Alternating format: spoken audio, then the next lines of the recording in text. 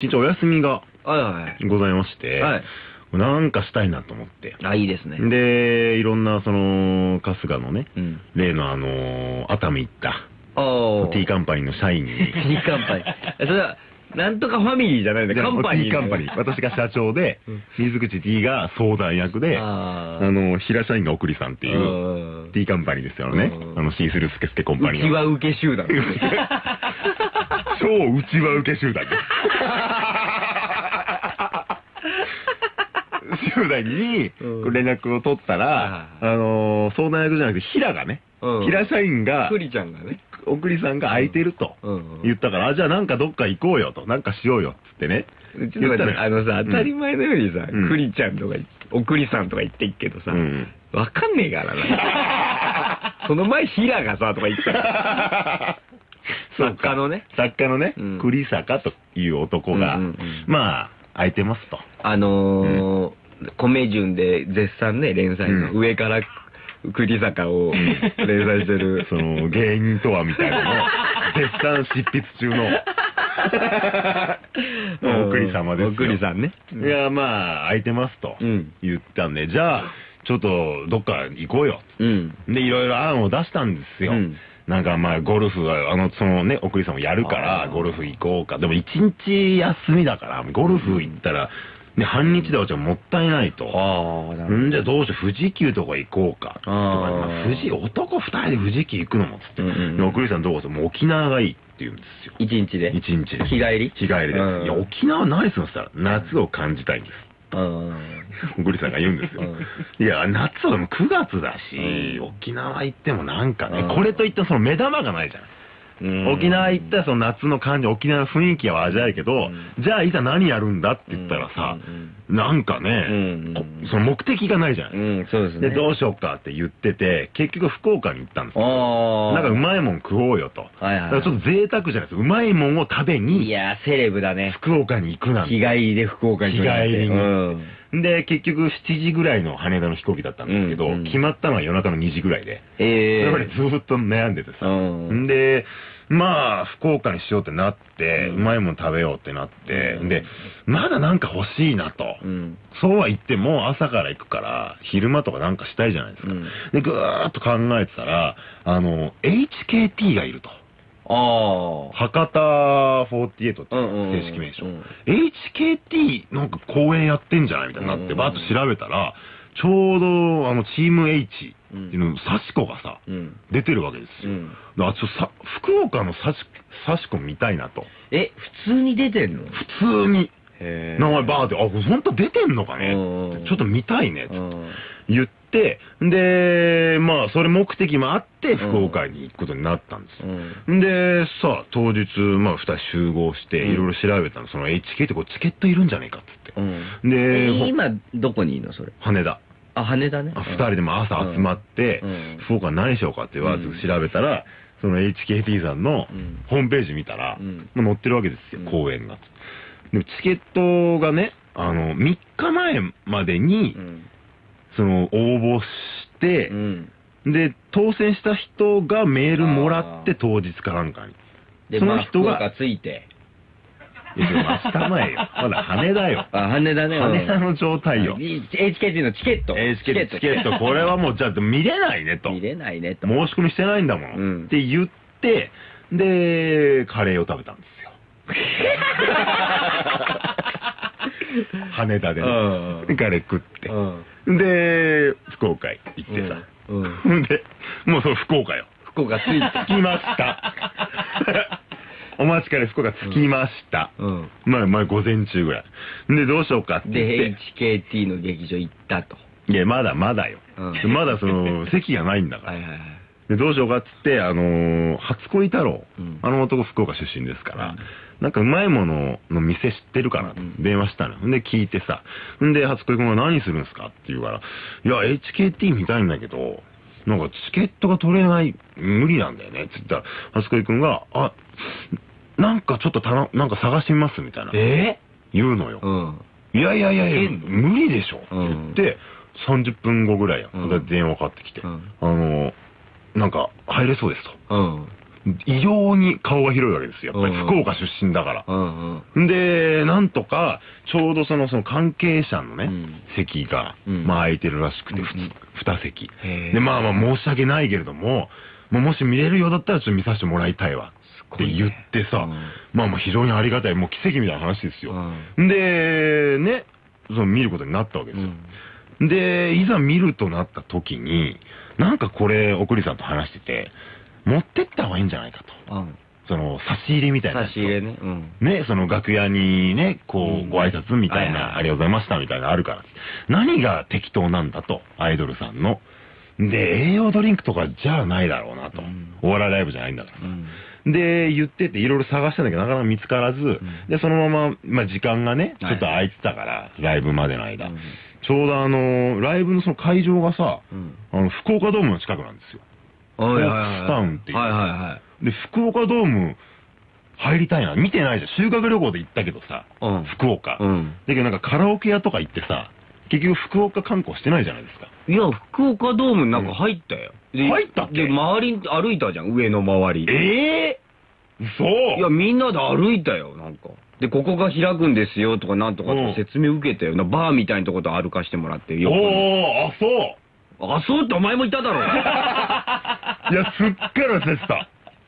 いや、写真が思いっきりあるよ、ドームの中で4人で写真撮ってる写真が思いっきりあるよ。見せてくんねえか、その写真。えいいよ。まさにそのバーのとこみたいなの歩いたよね、奥里さんね。上のところ。うん。見たことないわ。歩いたよ。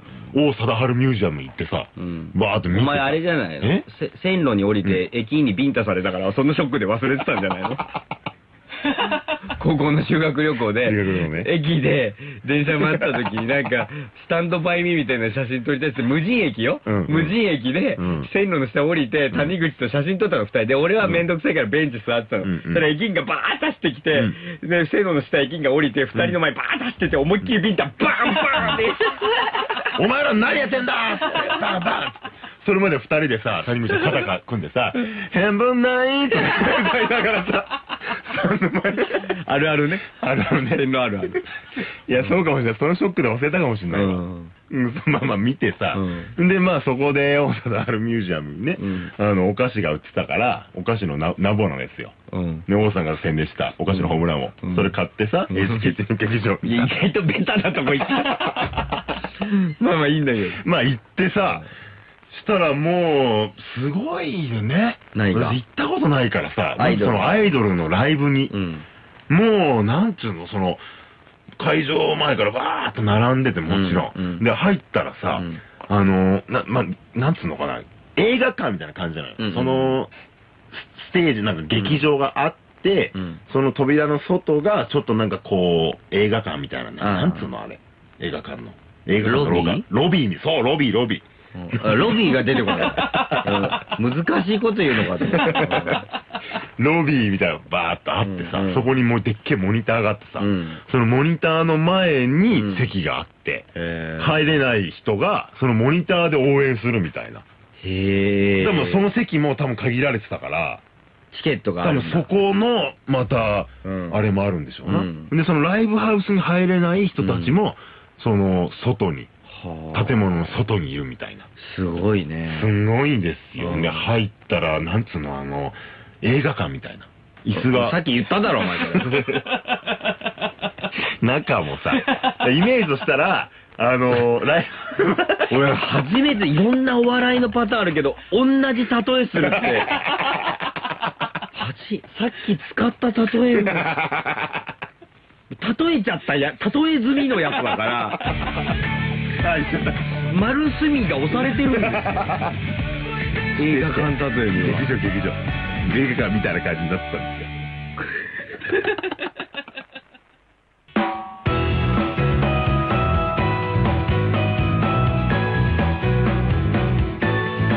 日本放送をキーステーションに全国36局ネットで放送中オードリーの「オールナイトニッポン」聞こうぜで、まあ、その映画館みたいな劇場にさ、また？うん。まあ、入ったんですよ、うん。で、私ね、ライブハウスのイメージで言ったらさ、うん。なんか、スタンディングでさ、バーッとこう盛り上がってるみたいなうん。感じだと思ってたんだけど、うん。もう、本当に、映画館みたいな感じでさうん。椅子がもう、ダーッとこう並んでて、そこみんなまあ、こう、それが映画館なんだけどね。さっきからそこもちょっと、劇場と映画館が近すぎるのがちょっと、ちょっと気になってたんだけど、まあまあまあまあ。まあ、こうみんなこう座ってんのよ。お行儀よくね。あ、こんな感じなんだと思ってさ。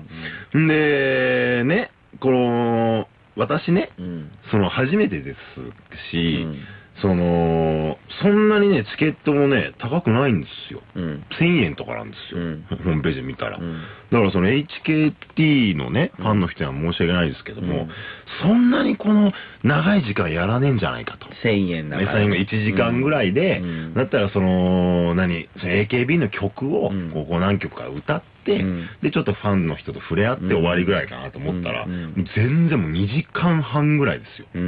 うん。で、あれも曲もオリジナルなのかね。うん。聞いたことない曲、んビリビリいっぱいやってさ、うんで、ユニットとかもこう何人かでやったりしてるわけ、もうすごいわけですよ。で、そのトークのね、あのーチームプレーというか、はいはいはい。それがもうこれぜひとも取り入れさせてもらいたいなっていうね、え、のがある、私が。トークを？トークの。うん。まあまあ、中 MC とかトークするわけですよ。うん最近あったニュースとかさ、うんこんなことでちょっとあのー誇らしい思いをしたとかさ、うんいいこととかいう話をね、まあ一人一人するんですけど、うんまあ話の内容的には、うんちょっとまあ可愛らしいエピソードですよ。うんあのーね、カップ焼きそばをこう作っててさ、うんこうお湯をこう待ってたら、うん。パッて気づいたら、あの、火薬じゃなくて、うん。粉のやつを入れて、粉ソースを入れてたと。うん。で、結局その、ね、薄味の焼きそばを食べることになっちゃいました。うん。みたいな感じなのよ。うん。そしたらさ、その16人ぐらいいるんですよ。うんその後ろの子たちがさ、イエーイって言うの。そしたら、ドワーッともう盛り上がるんですよ。あこれいいなと思ってさ。あう。ん。私が話した後、やってくんね？イエーイって。イエーイって言ったらさ、うんすごい盛り上がってる感じになるんですよ。はいはいはい。うん。だからそれぜひともその若林さんにお願いしたい。俺がイエーイって言うの。イエーイって言った後。えっと、うん状況的にはどんな感じなの？お笑い、K ダッシュライブでやるとしたら、うん春日さんが、うん。その、さっきみたいな焼きそばみたいなやばい話する。で、で、俺がイエーイっていうの、うんそのオチの後。うんそしたらお客さんがなるお客さんもだから多分イエーイみたいな感じになると思うんですよ。イエーイがないと、なんか滑ったみたいになっちゃうじゃないですか。でもその状況で言うと一番滑ってんの俺だよね。俺すごい怖いよね、それね。いや、したら私もイエーイって言うからさ。うんまあ、だから俺が一番滑ってんだよ。いや、イエーイじゃねえだろ、お前ってお客さんに思われて、お客さんもイエーイやってくれないだろうし人数の問題かな、じゃあ。うん。結構な人数いたらいいのかな、じゃあ、後ろに。ていうか、お前が、志が低いんだよ。いや、いいと思ったんだけどなお前でもそそれに近いよ。あの、うんアッパーとかって。あ、じゃあまあ、アッパーで代用できてるからいいのか。いや、そうだよ。そこはね。なんとかで、うで、薄味の焼きそばでした。んアーパーでいいじゃん、それは。そうか、そうか。うんそれ自己処理だもんな。あ、やっぱそうか、そうだね。うんうん。じゃあ、家の件はいいですわ。うん。で、まあまあ、わーっとこうやるわけですよ。んでさ、あの、その、で、お劇場はどんな、どんな感じだったの？劇その時に？イエイでいや、劇場の、うん。いや、見てみ、チーム付け焼きはみんな椅子から転げ落ちて頭抱えてるし、こんな PK 外したみたいになってるでしょ？これまだわかんない状況。あの、映画館みたいな。そうそうそうそう。まあ、ごめんごめん。ごめん。いや、笑ってんじゃねえ。だから、そう、うんそれでいいんだけどさ。それでいいんだけど。まあ、それでさ、うんで、そのファンの人とかもやっぱりさ、すごい。今面白かったね。ガラスの向こうでみんな頭抱えて椅子から転げ落ちて。みんな外れたみたいな。みんな分かってるってことだもんね。なるほどねリスナーも頭抱えてんじゃないあ、そう。鋭いね、皆さん方ね。もう全然気づかなかったよ。うん。でその雰囲気は？みたいなこと聞いてあれ後でチャレンジしよう。まあいいやうん。いや、いいですよ。うんファンの人とかもさ、そう私そのアイドルのライブ行ったのも初めてだから、どんな感じさ、ね、うんファンのその熱気というかさ、え、かけるみたいなバーそれはサシコは出てんの？出てんのよ。へえ。がっちり出てて、うで、平均年齢がすごい低いんだね、うん HKT って。14歳とか15歳。えぐらいなのよ。だから、サシコなんか二十歳ぐらいでしょ。うんだからもう姉さんみたいな。ねえ。だからもうね、ご飯連れてってくださいよとか、すごいみんなに言われたりとかしてんのよ。で、で、なんて返したサシコもね、うーん、まあ、まあいいけどね、みたいな。あの、ッシュで言ったら、けんねえみたいな。お前言い方悪いわ。言い方悪いってそれも失礼だ。もう、けんねえのポジションなんですよ。けんねえって言ったよ、うんそれ。そこは。うんまあ、お姉さんみんな慕われてる感じのさ。うんで、サシコもわーっとやってて、あ、やってるんだ、とね。だって別に、だってサシコはさ、うんお客さんから一人選んで舞台上に上げてキスしたりしないでしょ？だって。そうだね。前、マイケンはエンディングで毎回やってたからね。ケンズを探しますからね。男のお客さんあげてねうん。マイケンそういうことはやってないでしょやってないの。うん一番好みの後輩にキスする、エンディングでキスするくだりないでしょ？サシコ図はやってなかったよ。サシコさんやってないでしょ？当たり前なんだよ、それ。も懐かしかった、こうやってね、ライブでやっててね。うん懐かしいライブでね。うんうん懐かしかった。あれ、まあそこまでやってないですけど、うんで、ファンの人とかもさ、座りながらさ、うんあの、なんつうの、こういうの、なん手振り、うなんかなんつうの、あの、うん。あるじゃないですか。おたげ、おたげっていうのかね。うんもうわーっとやったり、掛け声とかわーっとするじゃない。うんしたら、ね、左サイドからわーっと来たら、右サイドの同じ、このファンの子がさ、うん。手、なんかこのうん、対抗してわーっとこう、か掛け声みたいに言ったりとかさはいはいはい、わーっとしててさ。で、私の目の前に、もう、高校生ぐらいかな？男の子がその大ファンなんだろうね。もうそういうまあ格好をしてさ、うんまあ椅子に座って、こう、聞いてるんですよ。うんで、一人一人の MC の時とかもね、こうやってなんか、ずーっと足組んで下向いてんの、こうやって。うん。あれ？っつって、うんせっかく来てるのなんで見ないんだろうと思ってたら、なんかそのうちの一人の子が喋り出したら、うんバッとこう上げてさ、うんあの、太田さんの声ってあるじゃん。うん。うん。うん。こう指でこう、うんなんか、パーンみたいうんなやつをずっとこう送ってるんですよ。へだその子のファンなんで、その一人の。はだからまあそ、それ以外の子じゃなんかこう盛り上がらないってわけじゃないんでしょうけど、そこは多分、ね、そのファンの子に対すへる、ーまあ愛なんでしょうけどね。あ。はい、でもやっぱすごくて本、本に出た時に、うんあの、篠田麻里子さんいるじゃん。うんうんうんで、あれ、ポンってスタジオまで通路歩くじゃん、日テレの。うんうんうんで、山ちゃんとあの、足りない二人のあれでポン出たから、うんうんうん通路歩いてたら、山ちゃん、あの、マリコ様に触ったら殺すよとか普通に言われ、言われてたもん、山ちゃん。触ったら殺すからね、つって。普通に超怖い感じの子に、ああ、大丈夫です、すいません、つって言ってた。あ、そこまでなの？で、聞いたらなんか、その、なんかわかんないけど、あの、うん。AKB のライブのうん。会場まで歩いていく間に、山ちゃんってうん。20発ぐらいボディ入れられるらしいよ。歩いてると。人混みになってると。それ、なん、なんなの？なんでやっぱなんか、ももクロとか、ありょいろんなアイドル好きだったりするから。まあでもああ一番山ちゃんが好きなのはホラン千秋なんだけど、え？それはもう俺が抑えてんだけど、うん。ホラン千秋さんなんだけどホラン千秋さんってどの方？知らない？まあいいや、うんそれはごめん。お前のトークとは別にしても。お前のファンが怒るから。お前のトークにしか指こうやって刺さないから、お前のファン。今刺してくれてるか今ら。だもう下向いちゃってるよ、足組んで。ラジオ聞きながら。俺が急に話しとっちゃったから。いや、もう急に？で。お前喋り始めたらやるよ、こうやって。ラジオに向かってありがたいねうん。そんなのやっててさ。まあまあ、すごい熱気なんですよ。それはもう何みたい？映画館みたい。まあちょっと、ごめん、今俺の振りが悪いわ。今のちょっと違うだろう。それで？うん。まあ、それでさ、うんまあ2時間ぐらい終わってさ、うん。んで、いざね、その、ほら、ナボナ持ってきてるからさ、うん。そう楽屋に、まあ行くつもりで、うん。挨拶しに行くつもりで、うん。まあいたんですけど、うん。もうステージにやられちゃったわけですよ。うん。私と送りさんは。うん。もうすごいもう迫力と。だからもう、すごすぎていけないみたいなうん。のあるじゃない。その、演者と、そのお客さんの距離、うん距離が遠いというかさ、はいはもう恐れ多くていけないみたいなうん。感じになっちゃってさ、終わった後みんなでハイタッチするんですよ。うん。お客さんとね、うんその、劇場のその、ロビーのところで、うんうんそれも参加したかったんだけどさ、え、参加しなかったの？参加せずに。お前何のために福岡まで行ってんだ、お前？いや、そんな怒る そんな怒りますと。うん。いや、それでサシコもだってハイタッチしてんでしょ？差し込むハイタッチ。そのリアクション聞きたいじゃない？ラジオリスナーとしては。うん。それは、あの、先に言ってきますけど、やってないです。うわうん。寒い 寒い久しぶりに。寒いって久しぶりに。寒い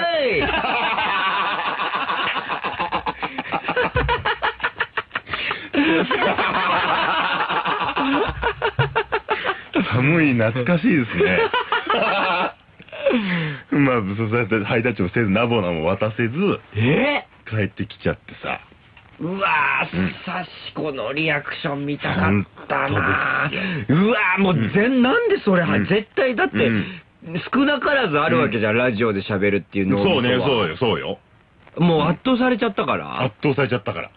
どの面下げて、その、ハイタッチしていいかもう分かんなくなっちゃってさ。うわーやられちゃってるからもったいないな。うんそれ絶対面白かったよね、春日だってなったらね。そうですよ。いやー、寒い！寒い寒い寒い寒い！寒い寒い寒い寒い寒い！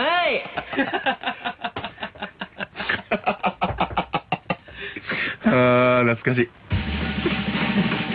結局、何せずに、二人でもつ鍋食いながらさ、あのー、ホームページでさ、うん。誰推しにしようかって決めてさ、一連の話はどん何みたいだったの？あの、映画館みたいでしたね。